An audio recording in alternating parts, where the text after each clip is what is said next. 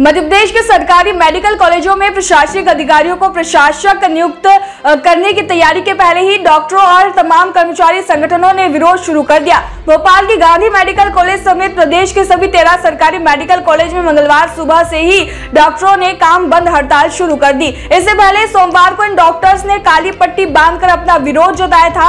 हड़ताल की वजह से मरीजों को दिक्कतों का सामना करना पड़ा। हालाँकि कैबिनेट की बैठक निरस्त होने के चलते डॉक्टरों ने अपनी हड़ताल भी खत्म कर दी। भोपाल में हमीदिया अस्पताल में मंगलवार को इलाज कराने आए मरीजों को वापस लौटना पड़ा। इमरजेंसी में आए मरीजों को इलाज के लिए निजी अस्पतालों का रुख करना पड़ा। डॉक्टर्स की हड़ताल के चलते हमीदिया अस्पताल प्रबंधन ने 20 मरीजों के ऑपरेशन अगले आठ घंटे के लिए टालने पड़े।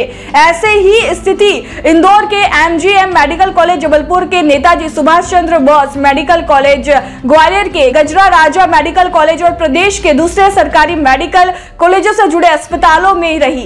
उधर चिकित्सा शिक्षा विभाग के अफसर, मेडिकल टीचर्स की हड़ताल को बेअसर बता रहे हैं। जीएमसी के मेडिकल टीचर्स ने ओपीडी खत्म होने के बाद एडमिन ब्लॉक के सामने चिकित्सा शिक्षा विभाग से जुड़े कर्मचारी संगठनों के साथ मीटिंग की थी। इसमें मेडिकल टीचर्स का कहना था कि हमने अफसरों को पत्र लिखकर मिलकर अपनी बात रखने के लिए समय मांगा था, लेकिन किसी को हमारी बात सुनने का समय नहीं है।